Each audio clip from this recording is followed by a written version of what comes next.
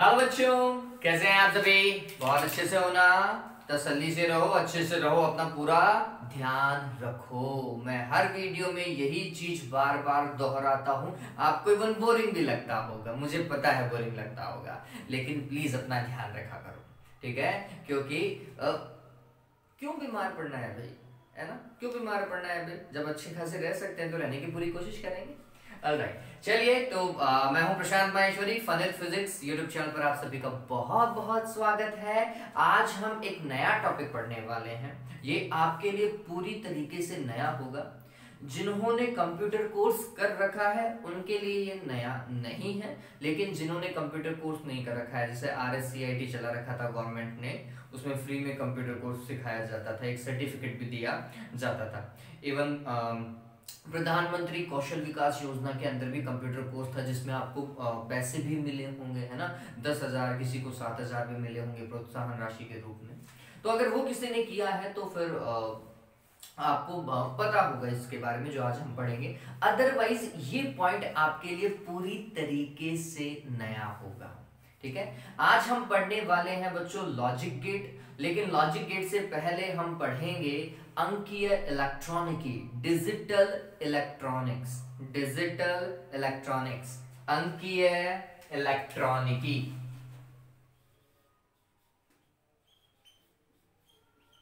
अंकीय इलेक्ट्रॉनिकी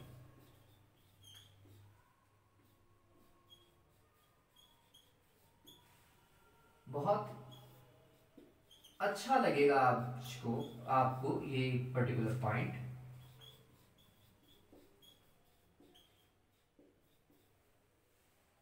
digital electronics.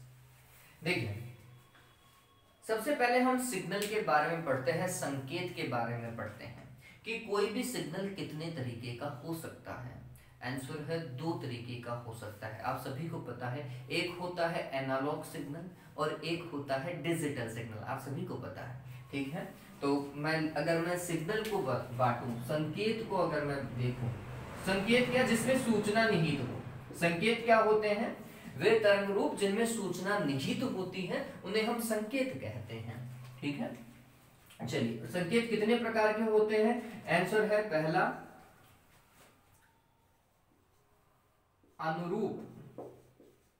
अनुरूप संकेत, जिसे हम एनालॉग बोलते हैं। ठीक है? एनालॉग सिग्नल और दूसरा तरीका क्या होता है? अंकीय या अंक रूप या तो आप लिख दो अंकीय या फिर लिखो अंक रूप, दोनों ही सही है, जिसे हम बोलते हैं डिजिटल सिग्नल आप एग्ज़ाम में आए तो हिंदी की जगह, अगर हिंदी वाला नहीं याद रहे तो आप इंग्लिश वाला भी लिख सकते हैं, कहीं कोई दिक्कत नहीं है। एनालॉग सिग्नल और डिजिटल सिग्नल होता है। ठीक है? अब एनालॉग सिग्नल कौन सा होता है? तो बच्चों डेली लाइफ में हम जिस सिग्नल को डील करते हैं, जैसे वॉइस ध्वनि। ध्वनि कैसा सिग्नल है एक तरीके का? हम बोलते हैं अनुरूप है, एनालॉग है, एक वेव बनती है इसमें। ठीक है? फिर इलेक्ट्रिसिटी ठीक है? प्रकाश जो आता है तरंगों के रूप में, प्रकाश, ये सारे के सारे क्या है? अनुरूप सिग्नल है, एनालॉग सिग्नल है। कैसे? ऐसे बनाते हैं साइन वेव ऐसा बनाते हैं ना, जैसे सांप चल रहा हो यूँ। ठीक है? तो हम बोलते हैं कि अगर हमें अनुरूप को परिभाषित करना हो, देखो मैं सिर्फ़ परिभाषा ही लिखूँगा। क्योंकि एग्ज़ाम के अंदर परिभाषा के अलावा और कुछ आएगा नहीं यहाँ पर। लेकिन जब हम डिजिटल इलेक्ट्रॉनिक्स को समझेंगे, तब आपको अच्छी अच्छी चीज़ें मैं बताऊँगा जिससे आप याद कर पाए। तो अनुरूप संकेत एनालॉग सिग्नल क्या होता है? तो हम बोलते हैं वे संकेत जो कि समय के साथ सतत रूप से परिवर्तित होते हैं।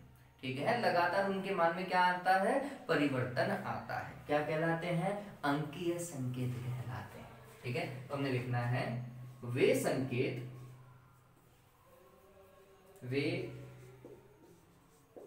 संकेत जिनके मान समय के साथ सतत रूप से परिवर्तित होते हैं। परिवर्तित होते हैं। क्या कहलाते हैं? अनुरूप या एनालॉग संकेत कहलाते हैं। ठीक है? उदाहरण के लिए मैं लिख देता हूँ जैसे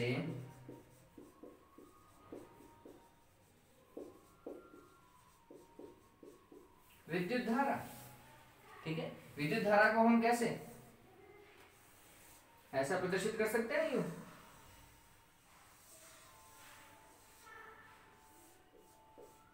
प्रत्यावर्ती विद्युत धारा लिख लीजिएगा।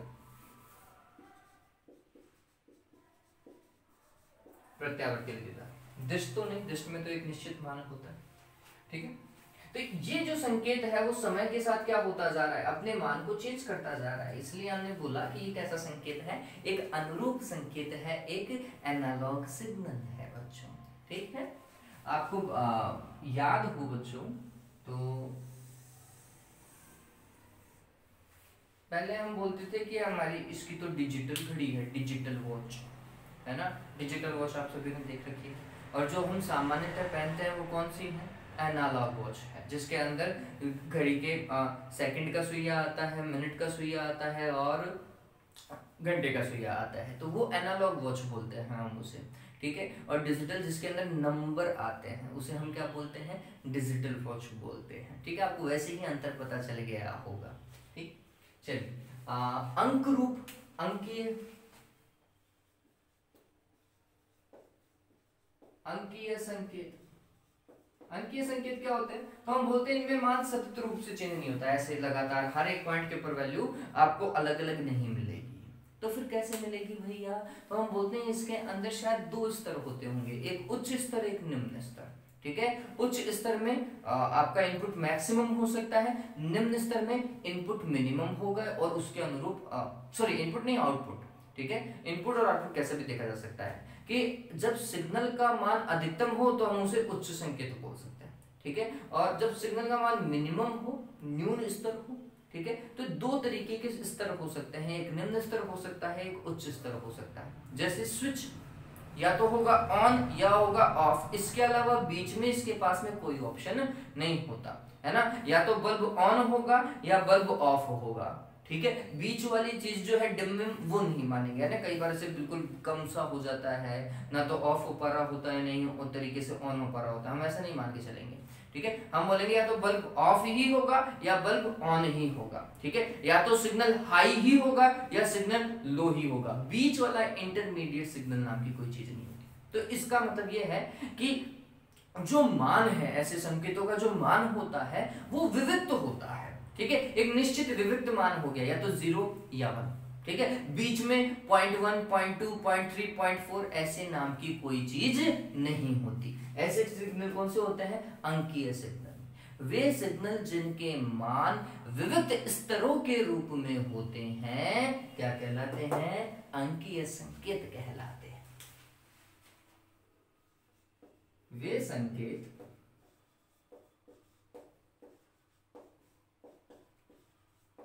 जिनके मान विविध स्तरों शून्य व एक। ठीक है? या तो ऑफ़ होगा या ऑन होगा। ऑफ़ मतलब ज़ीरो और ऑन मतलब वन हो गया। या फिर लो लेवल हाई लेवल ठीक है? विविध स्तरों के रूप में होते हैं।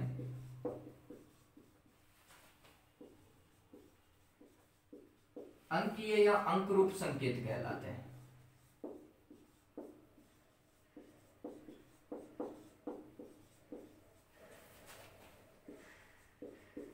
जैसे स्विच ऑन व ऑफ़ ही हो सकता है।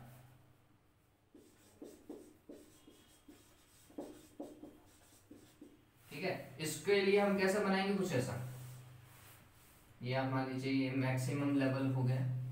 और पहले सिग्नल ज़ीरो था, फिर सिग्नल वन हुआ। ये वन और ये ज़ीरो तो शुरुआत में ज़ीरो फिर वन फिर इधर ज़ीरो चला और फिर वापस से क्या हो गया? वो वन हो गया। ठीक? तो हम बोलेंगे कि ये वाली चीज़ क्या है? हाई लेवल इसको क्या बोलते हैं? हाई लेवल उच्च स्तर। और ये जो नीचे वाली चीज़ है ना, ये ये। ये इसे बोलेंगे लो लेवल निम्न स्तर। ठीक है? या फिर इसे आप लिख सकते हैं ऑन और इसे लिख सकते हैं आप क्या बच्चों? ऑफ़ ठीक है? आप अगर इसे वोल्टता के रूप में परिभाषित करते तो हम बोलते, जैसे बल्ब के लिए मानो। बल्ब के पास में या तो 220 सप्लाई आएगी या 220 सप्लाई नहीं आएगी। ठीक है? तो हमने बोलना है कि अगर बल्ब में ऐसा शो करते, आपस ऐसा बना देता हूँ। तो बल्ब के लिए ये जो उच्च स्तर है, वो या तो होगा 220 वोल्ट, ठीक है? और या फिर होगा ज़ीरो वोल्ट। इसके बीच में कोई मान वो नहीं ग्रहण करेगा, ऐसा हम मान करके चलेंगे, ठीक है? या तो वो ज़ीरो ही होगा ऑफ़ ही होगा, या फिर वो ऑन ही होगा, ठीक? और ये सारे के सारे किसके साथ में? समय के साथ। ठीक है? ग्राफ में एक्स और वाई एक्सिस आप बता सकते हैं। यहाँ पे तो लेवल हो गया, लेकिन यहाँ पर आप वोल्ट में लिख सकते हैं। है ना? विभव लिख सकते हैं कि विभव है या वोल्टा है। ठीक है? तो इस तरीके से ये क्या होते हैं? डिजिटल और इलेक्ट्रॉनिक सिग्नल डिजिटल और एनालॉग सिग्नल होते हैं। हम यहाँ पर बात सिर्फ़ डिजिटल सिग्नल की ही करेंगे। ठीक है? और किस तरीके से? देखिए, पद्धतियों को भी हम समझेंगे। आप जब नंबर सिस्टम को पढ़ते हैं अंकीय पद्धति को आप पढ़ते हैं तो आपने क्या पढ़ा होगा अभी तक? आप डेसिमल सिस्टम पढ़ते हैं। डेसिमल सिस्टम का मतलब क्या हुआ? जो आप गणित पढ़ते हो ना, उसमें ज़ीरो, एक, दो, तीन, चार, पाँच, छह, सात, आठ, नौ, दस, ग्यारह, बारह, तेरह, चौदह, ऐसा चलता है। ठीक है? समस्त संख्याएँ जो हैं, जितनी भी संख्याएँ हमें आज तक पता है, वो शून्य से लेकर नौ अंक से मिलकर के बनी हुई है। यही तो हमारी दशमलव पद्धति ठीक है? इसमें टोटल संख्या कितनी होती है? दस होती है। ज़ीरो से लेकर नौ तक, ठीक है? और इन्हीं नौ, दस संख्याओं से मिलकर के आप बड़ी से बड़ी संख्या बना सकते हो, आप छोटी से छोटी संख्या बना सकते हो, ठीक है? यही तो होता है ठीक? अब यहाँ पर हम उस डेसिमल सिस्टम को मतलब उस दशमलव पद्धति को किस तरीके से अंकीय रूप में प्रदर्शित करेंगे? वो इंपॉर्टेंट है। ये क्यों पढ़ रहे हैं? तो आप सभी को पता होगा, अगर आपने कंप्यूटर कभी पढ़ा होगा, हालाँकि एग्ज़ाम लगती रहती है, कंप्यूटर की एग्ज़ाम लगती है वैसे। वो टिपंतरी से होती है, बात अलग है, उसमें पूरी टिपाई होती है, बात अलग है, ठीक? लेकिन लगती ज़रूर है, ठीक? उसमें अगर आपको पता हो तो आपने पढ़ा होगा कि कंप्यूटर जो है, वह बाइनरी सिस्टम के ऊपर काम करता है, बाइनरी कोडिंग। ठीक है? बाइनरी कोडिंग में या तो होता है ज़ीरो या होता है वन इसके बीच में कुछ नहीं होता। एक, दो, तीन, चार। एक ही है, दो, तीन, चार, पाँच, छह, सात, आठ संभव नहीं है इसमें। या फिर ज़ीरो पॉइंट एक ज़ीरो पॉइंट दो ज़ीरो पॉइंट तीन संभव नहीं होता। या तो ज़ीरो या वन इसके अलावा और कोई चीज़ नहीं। दैट इज़ बाइनरी ठीक है? वो क्या है? बाइनरी द्विआधारी. ठीक है? तो हम उसके बारे में डिस्कस करेंगे। ऐसे बहुत सारे नंबर सिस्टम होते हैं। डेसिमल नंबर सिस्टम होता है बाइनरी नंबर सिस्टम होता है ऑक्टल नंबर सिस्टम होता है आ, क्या है? एक होता है हेक्सा क्या?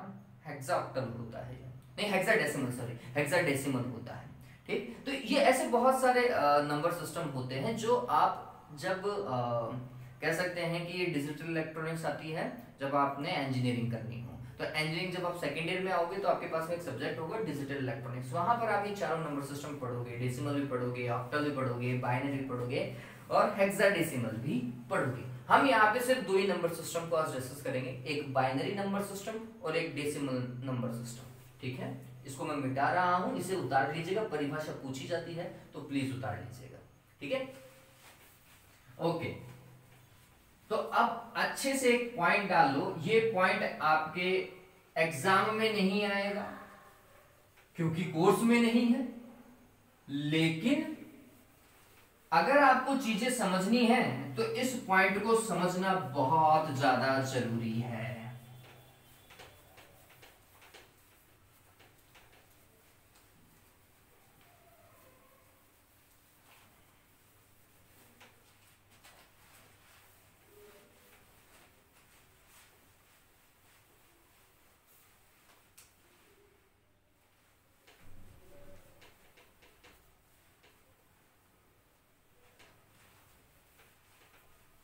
हाँ भाई अब तो तैयारी करना चालू कर दो। जिन्होंने अभी तक नहीं की है, अब से तैयारी करना चालू कर दीजिए। आप धीरे धीरे करके पढ़ना चालू करोगे ना तो कोर्स आपका एग्ज़ाम तक अच्छे से कंप्लीट भी हो जाएगा और आप अच्छी मार्किंग कर पाओगे। घबराओगे नहीं पेपर को देख करके। और मैंने तो आपको लास्ट वीडियो में बताया है कि पेपर पैटर्न इतना प्यारा है कि सभी के नंबर प्लस 90 प्लस नंबर आने वाले हैं। ऑल राइट देखिए, जब भी हम कोई भी डेसिमल नंबर लिखते हैं। देखिए, दो तरीके का होता है, दशमलव पद्धति।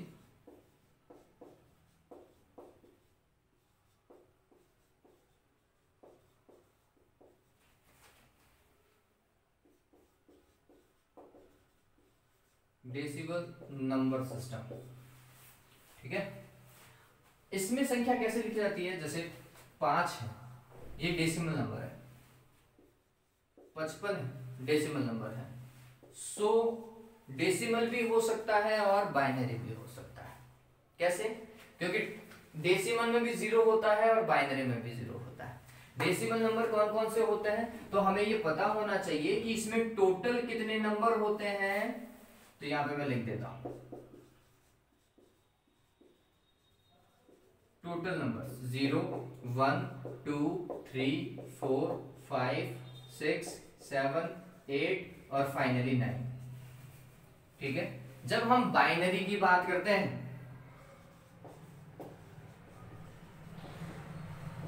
द्विआधारी बाइनरी पद्धति, द्विआधारी पद्धति.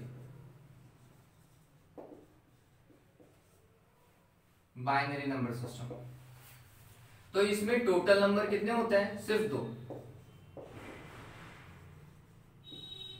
कितना? या तो ज़ीरो होगा या वन होगा. ठीक? इसमें ज़ीरो से लेकर नौ तक के अंक होते हैं। अब जब आप सो देखोगे तो सो में भी ज़ीरो और वन है, जो डेसिमल में है। और बाइनरी वाले भी ज़ीरो और वन ठीक? तो फिर ये सो कौन सा है? डेसिमल का है या फिर बाइनरी का है? ठीक? तो ये कैसे समझा जाता है? तो जब आप आगे पढ़ेंगे तो आपको पता चलेगा डिजिटल इलेक्ट्रॉनिक्स में इन्हें ऐसा लिखा जाता है। अगर ये डेसिमल नंबर है तो इसके नीचे हम दस लगा देंगे। बेस इस दस को हम क्या बोलेंगे? बेस बोलते हैं। और अगर यही सो बाइनरी होता तो हम इसके नीचे लगाते दो। बाइनरी का मतलब भी वैसे दो ही होता है, बच्चों। होता है, नहीं होता है। तो हम इसके नीचे दो लगाए। तो हमें कैसे पता चला कि कौन सा सो है? तो अगर उसका आधार दो है तो हम बोलेंगे कि भैया ये तो बाइनरी वाला नंबर है। अगर उसका आधार दस है तो हम बोलेंगे कि भैया ये तो डेसिमल वाला नंबर है। ठीक है? लेकिन क्या ये संभव है? पचपन। और यहाँ पे आधार दो। संभव है? आंसर है नहीं। क्योंकि जब दो आधार है बाइनरी नंबर सिस्टम है तो या तो ज़ीरो ही होगा या वन ही होगा अंदर। ना तो इसमें ज़ीरो है, ना इसमें वन है। ठीक है? ठीक? क्या इक्यावन संभव है? तो आप बोलोगे कि भैया, एक तो है बाइनरी का, लेकिन पाँच बाइनरी में नहीं है। तो ये संभव नहीं है। ये ये अंक बाइनरी में संभव है नहीं, होते ही नहीं है। ऐसा कभी बाइनरी में कोई अंक लिखा ही नहीं जाएगा। ठीक है? फिर क्या यहाँ पर संभव था ये इक्यावन? का बेस और क्या लिखा था मैंने? पचपन। क्या ये संभव है? बिल्कुल संभव है। क्यों? क्योंकि डेसिमल नंबर सिस्टम में पाँच भी है और डेसिमल नंबर सिस्टम में एक भी है। तो बिल्कुल, ये नंबर सिस्टम यहाँ पर, ये बिल्कुल सही है। ये अंक बिल्कुल सही है, लेकिन ये गलत है। ठीक है? तो हमें इतना पता होना चाहिए कि डेसिमल के अंदर दस अंक हो सकते हैं शून्य से लेकर, जबकि बाइनरी में दो ही अंक होते हैं ज़ीरो और एक। इसके अलावा और कोई अंक नहीं होता। ज़ीरो को लो लेवल माना जाता है वन को हाई लेवल माना जाता है सामान्यतः। ठीक है? चलिए तो ये चीज़ आपको पता होनी चाहिए। अब हम कैसे समझेंगे कि बाइनरी में अगर मेरे को पचास, सौ, सत्तर, अस्सी लिखना होता तो मैं कैसे लिखता भैया? ऐसे तो मैं लिख ही नहीं पाऊँगा तो फिर मैं कैसे लिखूँगा? तो वो लिखना समझो बच्चों। कैसे आप समझोगे? चलिए, मैं आपको बताता हूँ। तो हम मेरा मेन मुद्दा यही है कि आपको कन्वर्जन पता हो कि अगर बाइनरी है तो उसे डेसिमल में कैसे कन्वर्ट करना है डेसिमल है तो उसे बाइनरी में कैसे कन्वर्ट करना है, ठीक है? और बहुत अच्छे से आप ये चीज़ समझेंगे। तो अगर आपको उतारना है तो डेसिमल नंबर सिस्टम में ये वाली लाइन उतार लीजिएगा और बाइनरी में ये वाली लाइन उतार लीजिएगा। बस इतना उतार लीजिएगा। मेन मुद्दा क्या है वो समझिए। हम यहाँ पर कन्वर्ट कर रहे हैं डेसिमल टू बाइनरी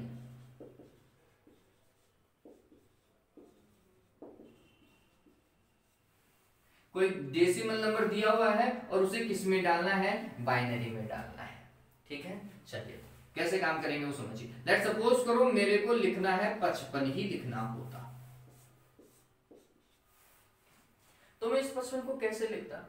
एक तरीका तो मेथड है, लेकिन मैं आपको मेथड नहीं बताऊँगा, वो तो आप ऐसे ही सीख लोगे। मैं आपको तरीका बताऊँगा जिससे आप हमेशा कोई भी काम कर सकते हो। तो डेसिमल नंबर सिस्टम में क्या होता है बच्चों? दो के घात में चलाओ। दो की घात ज़ीरो, दो की घात एक, और इस तरीके से बढ़ती हुई घात कहाँ से? राइट टू लेफ़्ट की ओर जाओगे, है ना?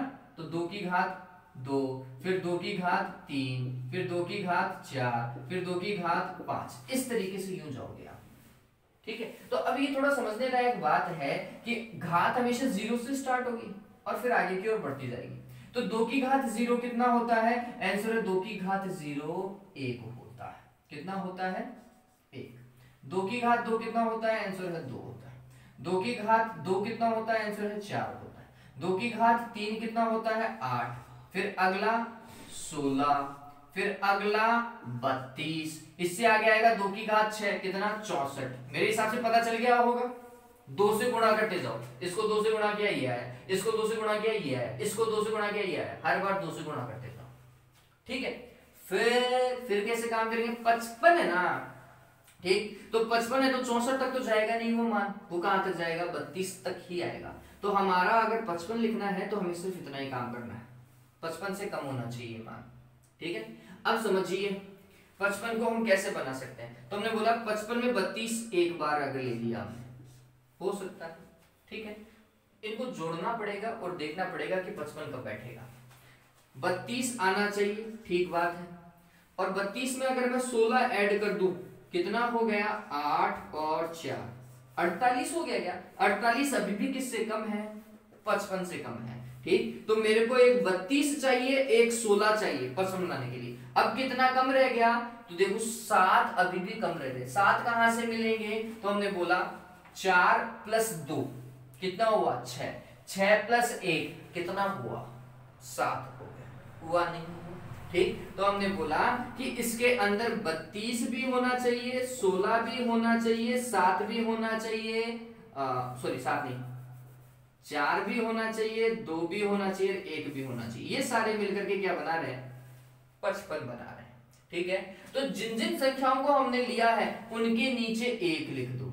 इसके नीचे फिर जिसको नहीं लिया है, क्या इसमें आठ लिखा है? नहीं लिखा। आठ लिखते तो ज़्यादा हो जाता उस संख्या को ज़ीरो कर दो। ठीक है? फिर ये लिया है, ये भी लिया है, ये भी लिया है। ये जो संख्या आप पढ़ रहे हैं ना बच्चों, ये संख्या क्या है? पचपन है। ये संख्या, है ना? One one, zero, one one one, पचपन। ठीक है? अगर बाइनरी में पचपन लिखना होता तो हम ऐसा लिखते ही। इस तरीके ठीक है? अब ये मैं दो तीन सवाल आपको करवा देता हूँ। आप कभी इस चीज़ में कभी कंफ्यूज नहीं होगे बच्चों, मुझे पता है।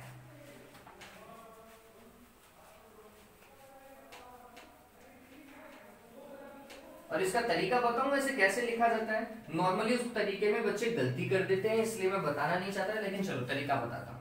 आप क्या करो, इसमें दो का भाग लगाते रहो। दो का भाग, हर बार। और जो भी कैरी है, जो भी शेष बच जाए उसे साइड में लिखते रहना। ठीक है? शेष फल को हम साइड में लिख रहेंगे तो पचपन में दो का भाग लगाया। तो कितना आएगा? यहाँ पे आएगा दो।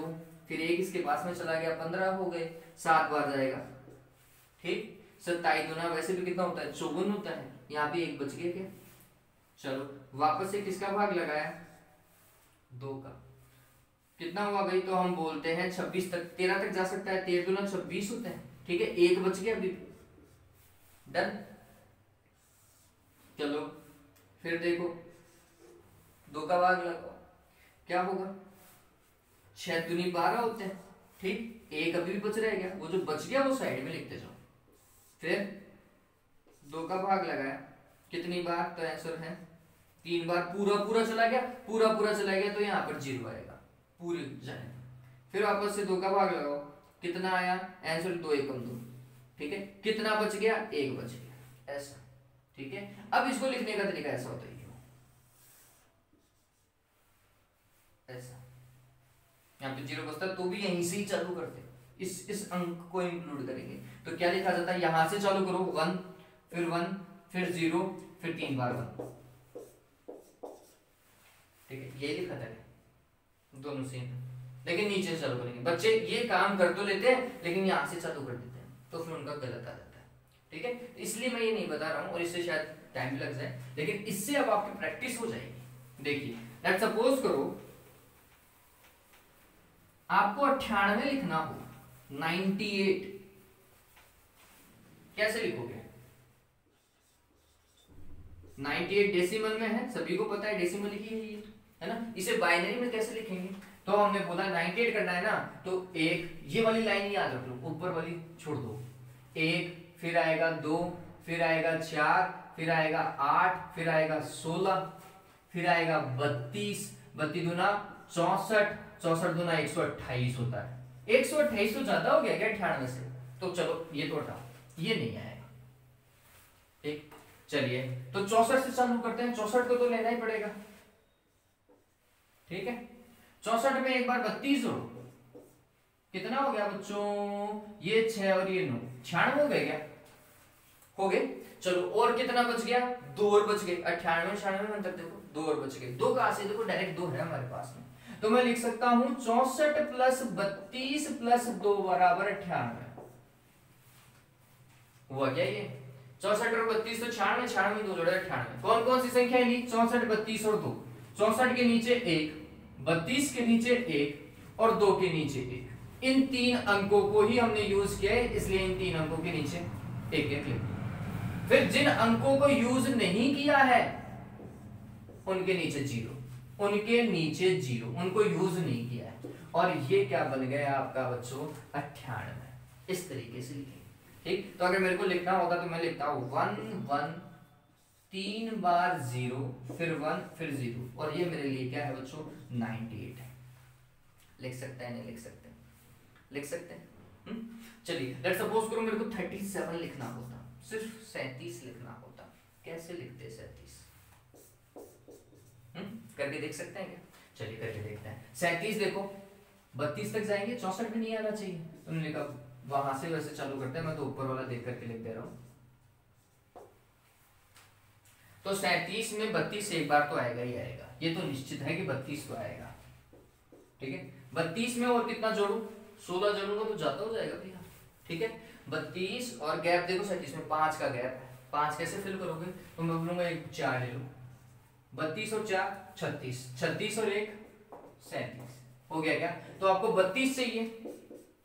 आपको चार चाहिए। आपको एक चाहिए। ये अंक चाहिए। इसके अलावा जो भी है वो नहीं चाहिए तो ये ज़ीरो लगा दो। सैतीस हो गया। ठीक है? क्या हुआ भाई सैतीस को? कैसे लिखा हमने? हमने लिखा इसे one double zero one zero one. Sorry, यहाँ पे नाइनटी एट नहीं तो आएगा। सॉरी। ठीक है? इस तरीके से इसे लिखा जाएगा।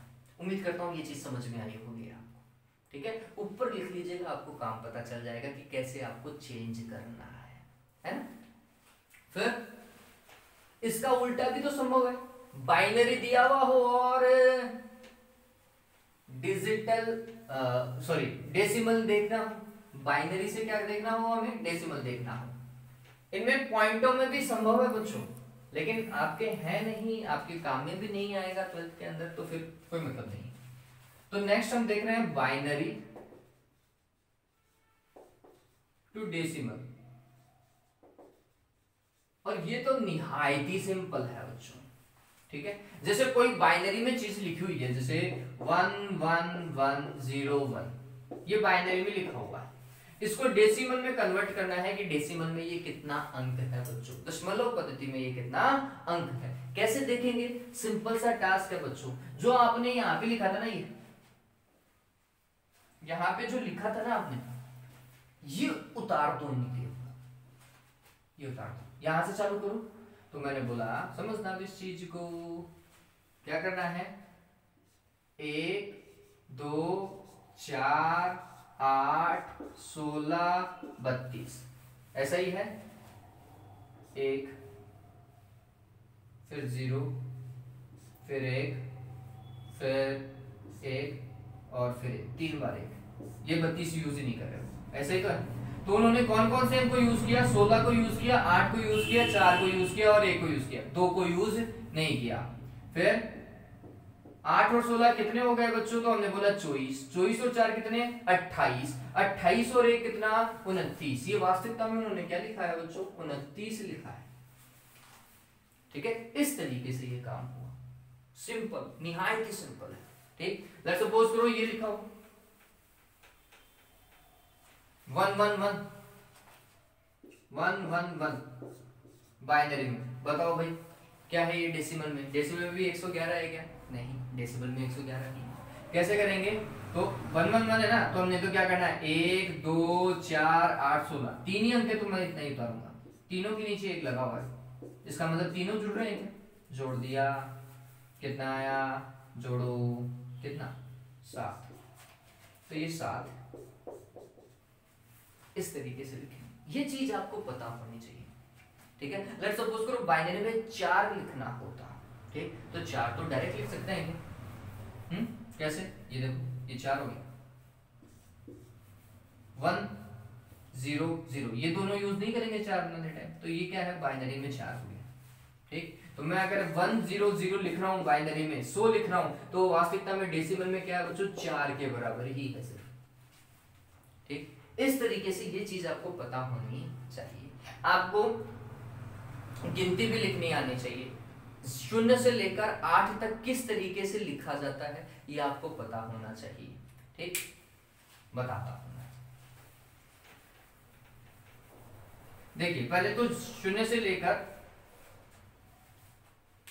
तीन तक लिखना सीखो। तीन तक।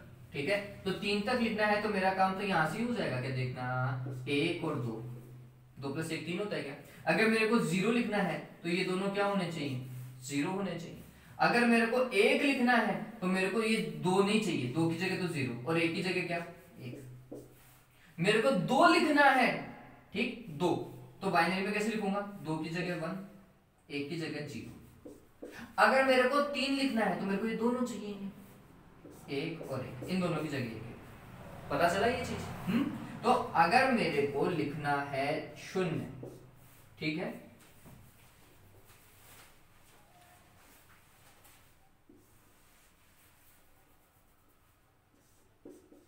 Zero to three number. तो अगर मेरे को लिखना है ज़ीरो तो बाइनरी में मैं लिखूँगा इसे ज़ीरो ज़ीरो। और आप और भी ज़्यादा ज़ीरो लगा सकते हैं, सारे ज़ीरो पर ठीक है? बस ये बात ध्यान रखना। लेकिन दो अंकों से मैं कैसे लिखता? फिर अगर मेरे को लिखना है एक तो बाइनरी में इसे कैसे लिखते? ज़ीरो वन एक। फिर अगर मेरे को लिखना होता दो, ठीक? दो कैसे लिखते पता चल रहा है क्या? देखो, दो एक बार ले लिया, एक तो चाहिए नहीं, क्योंकि ये तो होना चाहिए एक बार और ये होना ही नहीं चाहिए। तभी जाके तो ये क्या बनेगा? दो बनेगा बच्चों। दो प्लस ज़ीरो ठीक है? तो हमने इसको क्या लिखना है? दो को एक और ज़ीरो। ठीक? अगर मेरे को लिखना है तीन तो मैं कैसे लिखूँगा? कैसे लिखेंगे बच्चों? ये दोनों आने चाहिए। दोनों वन और वन बहुत सिंपल है। बहुत ज़्यादा सिंपल हो गया? चलिए तो इस चीज़ को प्लीज़ उतार लें कि काम कैसे करना है कन्वर्जन कैसे करना है, ये चीज़ आपको पता होनी चाहिए। मैं ज़ीरो टू एट भी आपको लिखा दूँगा। कैसे लिखेंगे? थ्री नंबर को यूज़ करते हुए हम zero to sorry zero to seven zero to seven कैसे लिखते हैं? तीन नंबर तीन बाइनरी नंबर को चूज़ करके ज़ीरो टू सेवन कैसे लिखते हैं, वो भी मैं आपको बता दूँगा। जल्दी से इस चीज़ को उतारो बच्चों, ये इंपॉर्टेंट है बच्चों।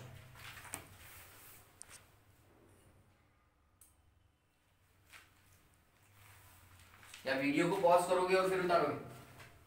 हम्म? वीडियो को पॉज कर दीजिएगा, फिर उतार लीजिएगा। अब मैं आपको ज़ीरो टू एट सेवन तक लिखना सिखा रहा हूँ। बाइनरी में कैसे लिखेंगे? वैसे तो अब आपको पता चल गया होगा। लिख सकते हो आप खुद।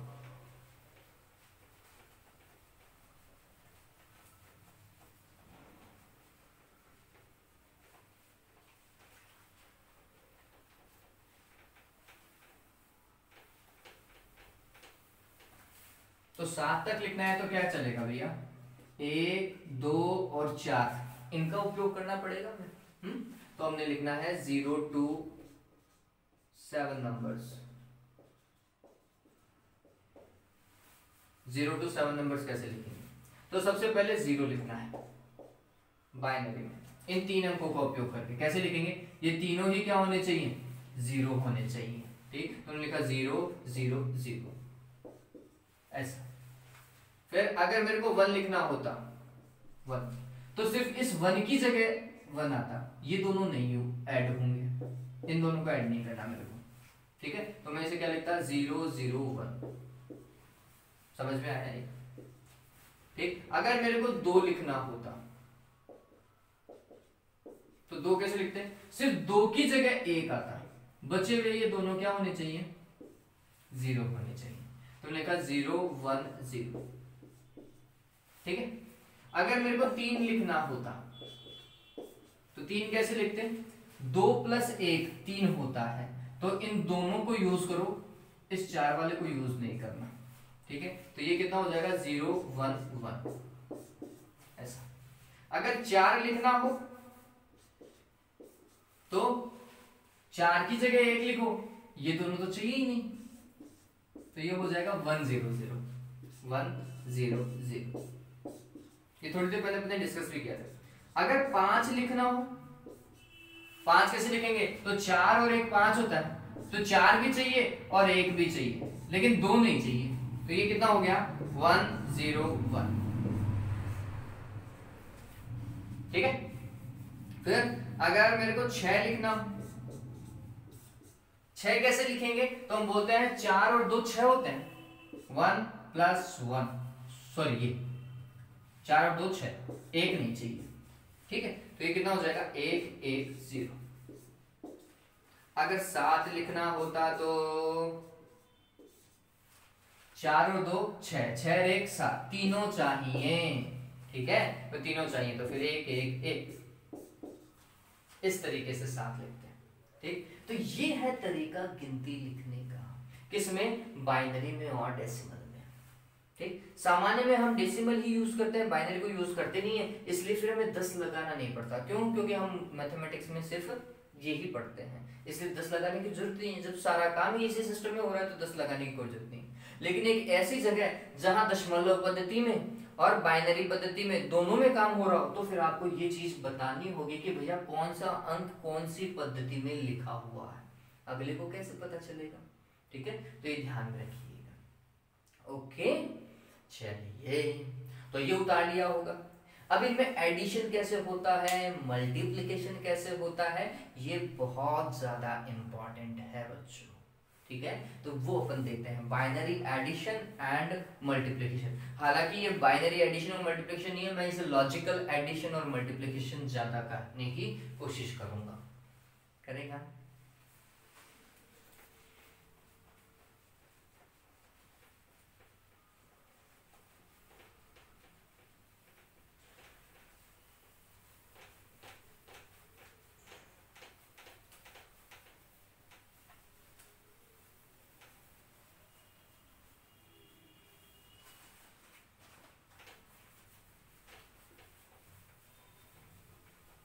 और अब जो हम डिस्कस करने वाले हैं, वो लॉजिक गेट में आएगा बच्चों। तो ये जो अब हम पढ़ेंगे, ये आपके कोर्स का भाग है, आपके कोर्स में इंक्लूड हो जाएगा। तो कोर्स वाला पॉइंट समझने के लिए, अब जो मैं बताने जा रहा हूँ, उसे तो और अच्छे से समझिएगा। ये तो समझना ज़रूरी है, इसके बगैर तो काम चलेगा ही नहीं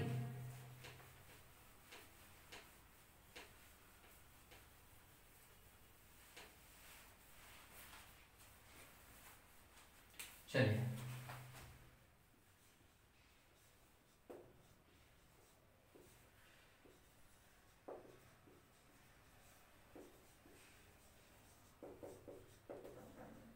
लॉजिकल या फिर बाइनरी एडिशन जोड़.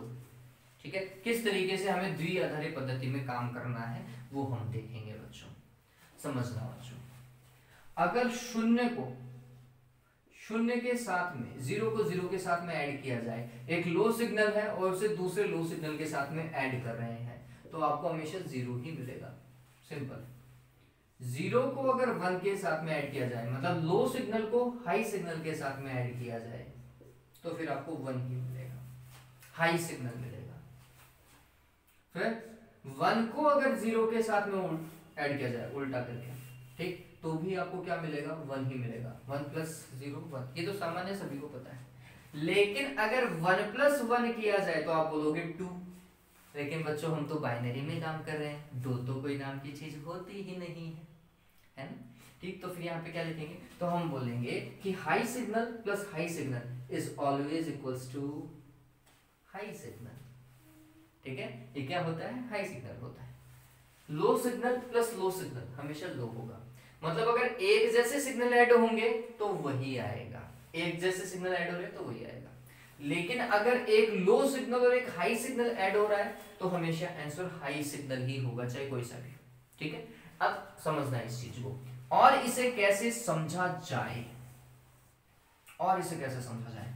तो अब समझिए, ये चीज़ तो ध्यान में रखनी है क्योंकि ये ट्रुथ टेबल बनाएगी आपकी। वन प्लस वन वन होता है टू मत लिख करके आ जाना। अब समझिए, यहाँ पर चीज़ों को A A bar B B bar X X bar bar ठीक है? वाई वाई बार ऐसे से समझाया जाता है बाइनरी में, ठीक है? तो अगर समझना, अगर ए ज़ीरो है तो ए बार क्या हो जाएगा? वन हो जाएगा। बार हमेशा इस मेन सिग्नल का उल्टा होता है। तो अगर मेन सिग्नल ज़ीरो है तो ये वन हो जाएगा। और अगर मैन सिग्नल वन है तो ये क्या हो जाएगा?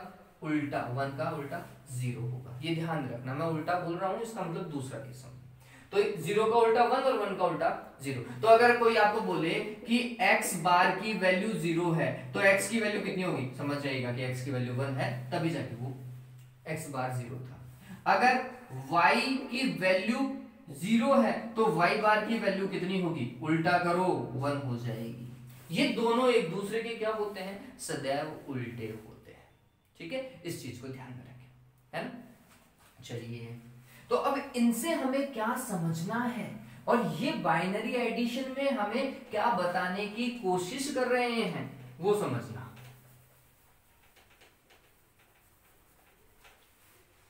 चलिए, अगर मैं ए में ए जोड़ू तो क्या आएगा? तो आप बोलोगे, सर टू ए लिख दो। है ना? नहीं बच्चों, ऐसे तो नहीं होगा बाइनरी में काम कर रहे हैं। तो हमने अज्यूम करना है। अज्यूम क्या करना है? कि अगर ए ज़ीरो होता अगर ए ज़ीरो होता तो ज़ीरो प्लस ज़ीरो क्या आता? ज़ीरो आता। ठीक है? और अगर ए वन होता तो वन प्लस वन क्या आता? वन आता। तो हम बोलते हैं कि अगर सेम सिग्नल ऐड होते हैं तो वही सिग्नल रिज़ल्ट में भी मिलता है। ठीक है? अगर ज़ीरो को ऐड करोगे तो ज़ीरो मिलेगा। अगर वन को ऐड करोगे तो वन मिलेगा। तो अगर मैं ए को ए से ऐड करूँगा तो मेरे को हमेशा क्या मिलेगा? ए ही मिलेगा।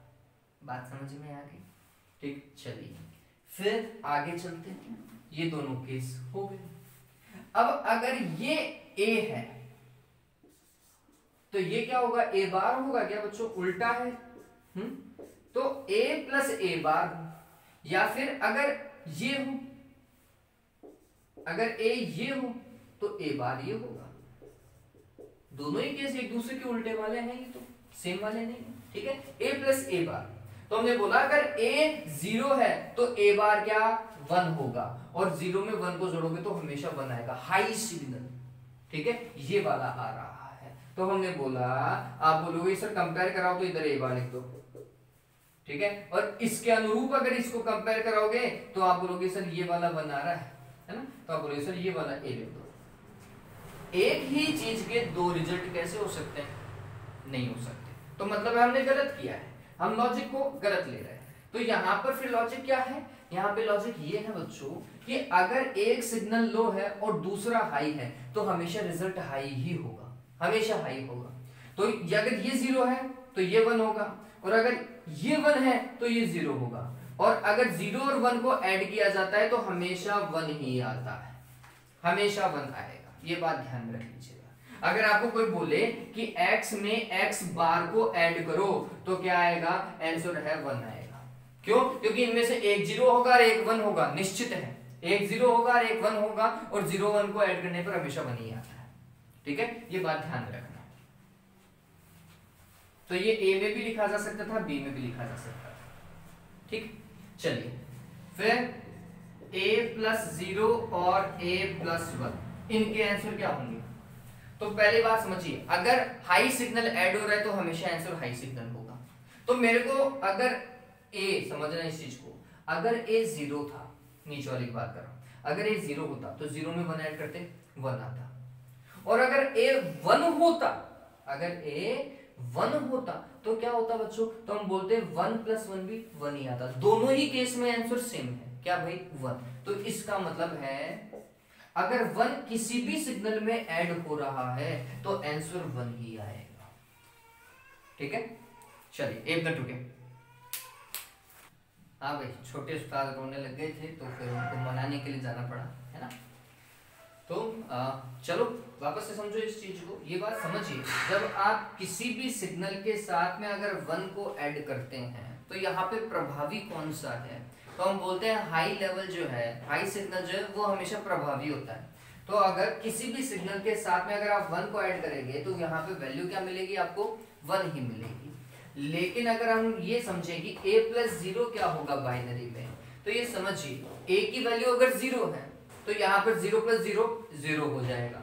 लेकिन अगर ए की वैल्यू वन होगी तो वन प्लस ज़ीरो क्या हो जाएगा? वन हो जाएगा। आंसर चेंज हुआ। ज़ीरो भी था वन भी था। किसके ऊपर डिपेंड कर रहा है? आंसर है ए के ऊपर। ए अगर ज़ीरो है तो आंसर भी ज़ीरो आ रहा है। ए अगर वन है तो आंसर भी वन आ रहा है। तो इसका मतलब जब आप किसी भी सिग्नल में ज़ीरो ऐड करेंगे तो सिग्नल के ऊपर कोई इफ़ेक्ट नहीं पड़ेगा, बच्चों। ठीक है? अगर हम इन सारी चीज़ों को कलेक्टिवली समझे, एक ही जगह से समझे तो हमें क्या पता चलता है, वो समझिए, बच्चों। मैं सारी चीज़ को मिटा रहा हूँ और हम अब इन्हें तरीके से लिखने की कोशिश करते हैं कि ये हमें क्या बता रहे हैं। हमें ये पता चल रहा है कि सेम सिग्नल को ऐड करने पर वही सिग्नल मिलता है। ए प्लस ए ए ही होता है। या फिर ए बार प्लस ए बार हमेशा क्या होता है? ए बार होता है। सेम सिग्नल को ऐड करो सेम ही मिलेगा। और अगर अलग अलग सिग्नल को ऐड कर दिया जाए ए प्लस ए बार या फिर बी प्लस बी बार तो ये वाली वैल्यू कितनी होगी बच्चों? आंसर है हमेशा वन होगा। क्योंकि इनमें से कोई एक ज़ीरो होगा और कोई एक वन होगा। ठीक है? तो फिर हमने बोला कि ये वाली वैल्यू हमेशा क्या आती है? वन आती है।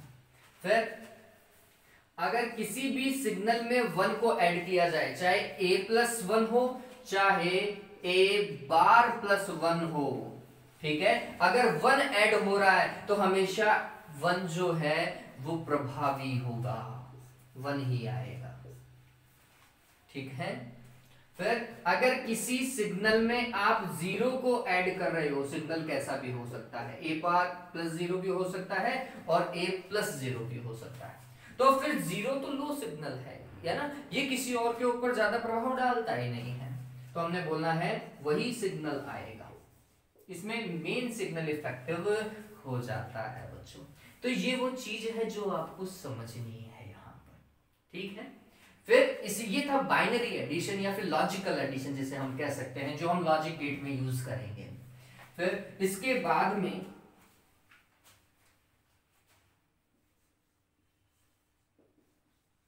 लॉजिकल या फिर बाइनरी मल्टीप्लीकेशन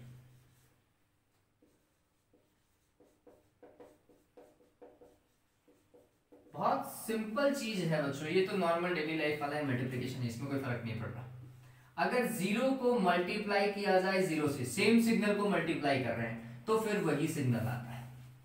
ठीक है? लेकिन अगर ज़ीरो को मल्टीप्लाई करो वन से, या फिर वन को मल्टीप्लाई करो किससे? ज़ीरो से तो ये हमेशा समझिएगा कि ज़ीरो ही आएगा। आप ज़ीरो को किसी से भी मल्टीप्लाई करते हो आंसर ज़ीरो ही आता है। ठीक है? फिर अगर वन को वन से मल्टीप्लाई किया जाए तो फिर क्या आएगा बच्चों? आंसर है वन ही आएगा। तो सेम सिग्नल को अगर मल्टीप्लाई करते हैं तो वही सिग्नल आता है। ठीक है? तो हमें क्या पता चला? ए को अगर ए से मल्टीप्लाई किया जाएगा तो ए ही आएगा। और ए बार को अगर ए बार से ही मल्टीप्लाई किया जाए तो ए बार ही आएगा। ठीक है? ये सेम था। फिर यहाँ पे देखो ज़ीरो को अगर आप किसी भी चीज़ से मल्टीप्लाई करोगे ज़ीरो को आप किसी से भी मल्टीप्लाई करो। ज़ीरो को चाहे आप ए से मल्टीप्लाई करो, या ज़ीरो को आप ए बार से मल्टीप्लाई करो। जब भी ज़ीरो मल्टीप्लाई में आ रहा है आंसर हमेशा ज़ीरो ही होता है। ठीक है? ज़ीरो से किसी भी चीज़ को मल्टीप्लाई करो, हमेशा ज़ीरो ही होता है। लेकिन अगर ए को वन से मल्टीप्लाई करो, या फिर ए बार को वन से मल्टीप्लाई करो, कोई फ़र्क पड़ेगा क्या? एक से मल्टीप्लाई करने पर कभी भी कोई फ़र्क नहीं पड़ता, है ना? तो हम बोलते हैं मल्टीप्लाई करने पर वो सिग्नल ही आता है। मल्टीप्लाई करने पर, ठीक है? ऐड करने पर। ठीक ए बार आएगा। ए बार। ये क्लियर हो हाँ यहाँ पर देखो, अगर ये ए है तो ये ए बार है, और अगर ये ए है तो फिर ये ए बार है। ए और ए बार को जब भी मल्टीप्लाई किया जा रहा है, हमेशा क्या आ रहा है? ज़ीरो ही आ रहा है। तो ये समझिए ए को जब भी ए बार से मल्टीप्लाई कराया जाता है तो आंसर हमेशा क्या आता है? ज़ीरो और ए को जब भी ए बार से जोड़ा जाता है तो हमेशा क्या आता है? वन आता है. ठीक है? इस चीज़ को हमेशा हमें क्या रखना पड़ेगा? ध्यान रखना पड़ेगा. ठीक है? एक और है. डीमॉर्गन थ्योरम ये कहीं लिखी हुई नहीं है, लेकिन इसका यूज़ है. ठीक? तो हमने लिखा, बहुत इंपॉर्टेंट है. डीमॉर्गन थ्योरम ये क्या है भाई? तो ये बताता है कि अगर कोई सिग्नल जैसे ए और बी दो अलग अलग सिग्नल हैं और ए प्लस बी है, ठीक है? और इन दोनों के ऊपर हॉल बार लगा हुआ है, दोनों के ऊपर पूरा ऐसा सम्मिलित रूप से तो फिर ये किसके बराबर होगा? तो नॉर्मल बच्चे ऐसा करके आ जाते हैं। A bar plus B bar. A bar plus B bar करके आते हैं, ठीक है? नहीं बच्चों डी ये कभी भी ए प्लस बी का होल बार कभी भी बराबर नहीं होता है। किसके? ए बार प्लस बी बार नहीं बच्चों, ये गलत है है ना? तो डी मॉर्गन थ्योरम ये बोलती है कि जब आप सॉल्यूशन करोगे ना तो आपको ये वाली वैल्यू किसके बराबर मिलेगी? तो ये समझिए, ये जो बार है वो दोनों के साथ में लगेगा, दोनों के साथ में। लेकिन लेकिन ये जो प्लस था, वो कन्वर्ट हो जाएगा किसमें? डॉट में मल्टीप्लीकेशन में। और इसका उल्टा पॉसिबल है मतलब ए डॉट बी का होल बार है। अगर मल्टीप्लाई है बीच में तो मल्टीप्लाई किसमें कन्वर्ट हो जाएगा? प्लस में एडिशन में। और बार तो दोनों के लगना ही लगना है। ठीक है? उल्टा होता है। अगर प्लस है तो फिर हॉल को हटाने पर हॉल बार को हटाने पर डॉट लगाओगे। और अगर बीच में डॉट है मतलब मल्टीप्लीकेशन है तो होल बार को हटाने पर बीच में क्या आएगा? प्लस आएगा। ये किसने बताया था? डी मॉर्गन ने बताया था। इसी के साथ में एक और है। क्या भाई? अगर किसी भी सिग्नल के डबल बार है, किसी भी सिग्नल के तो फिर वो हमेशा वही सिग्नल होता है। जैसे लेट सपोज़ करो ए वन है तो मैंने बोला वन के दो बार बार को यूज़ करना है। तो पहली बार जब मैं बार को यूज़ करूँगा तो मेरे को पता चलेगा कि वन का उल्टा करना है। वन का उल्टा कितना बच्चों? ज़ीरो तो पहला बार यूज़ हो चुका है चलो, अब इसके एक ही बार लगा ज़ीरो का उल्टा, बार मतलब उल्टा कर दो। ज़ीरो का उल्टा क्या? वन ठीक है? तो हॉल बार किसी के भी लगा हुआ होता तो इसका मतलब वही सिग्नल ठीक है? तो अगर ए के हॉल दो बार बाढ़ लगा है तो फिर वही सिग्नल है। ठीक है? अगर बी के में दो बार बाढ़ लगा दू तो वापस से वो क्या आएगा? बी ही आएगा। ठीक? तो ये चीज़ समझने लायक है इंपॉर्टेंट है। अगर ये चीज़ें आपको समझ में आ गई तो लॉजिक गेट जो है, वो तो आप ऐसे ही समझ जाओगे। बहुत इजी हो जाएगा। ठीक है? तो चलिए, इन चीज़ों को ध्यान में रखो, अच्छे से एक बार के लिए इस चीज़ को नोट डाउन कर लो, फिर अपन पढ़ते हैं क्या बच्चों लॉजिक गेट कल हम उसकी डेफिनेशन देखेंगे, कितने तरीके के लॉजिक गेट हम पढ़ने वाले हैं, उसको पढ़ने वाले हैं। देखिए, आप बेसिकली अगर आप एनसीईआरटी की बुक को समझते हैं तो एनसीईआरटी की बुक के अंदर पाँच तरीके के लॉजिक गेट दे रखे हैं। तीन बेसिक या फिर मेन लॉजिक गेट है, और दो यूनिवर्सल लॉजिक गेट होते हैं। लेकिन राजस्थान बोर्ड के अंदर एक और लॉजिक गेट को एक्सोर और एक्स नॉर को भी ऐड किया गया है तो वो भी हम पढ़ेंगे इजी है। उन्हें हम स्पेशल पर्पस लॉजिक गेट बोलते हैं। इन्हें लॉजिक और गेट क्यों बोला जाता है, ये भी हम डिस्कस करेंगे। लेकिन इस वीडियो को पहले अच्छे से देखें, उसके बाद में उसे काम करेंगे। ठीक है? कुछ बच्चे मेरे को बोल रहे हैं कि, सर, ये बीच में करवा दो एम्पलीफायर करवा दो। बच्चों, आपको ट्रांजिस्टर पता चल नहीं रहा है और आपको एम्पलीफायर समझना है, कैसे पॉसिबल है? ठीक है? और जिस तरीके से आपने इस पर्टिकुलर चैप्टर को मतलब पढ़ा नहीं है इलेक्ट्रॉनिक्स वाकई में आपने नहीं पढ़ा। मैं जब सेमीकंडक्टर इलेक्ट्रॉनिक्स का जब वीडियोस के व्यू देखता हूँ तो मेरे को बहुत दुख होता है। उनके ऊपर लाइक्स या फिर उनके ऊपर कमेंट देखता हूँ ना तो मेरे को ऐसा लगता है कि ये शायद चैप्टर इस चैप्टर के मेरे को वीडियो बनाने नहीं चाहिए थे। बहुत कम व्यू बहुत कम वॉच आवर इसलिए फिर मैंने लॉजिक गेट चालू किया कि कम से कम कुछ तो इंटरेस्टिंग लगेगा आपको। चलिए वीडियोस को देखे बच्चों, ये आपकी भलाई के लिए। Have a good day take care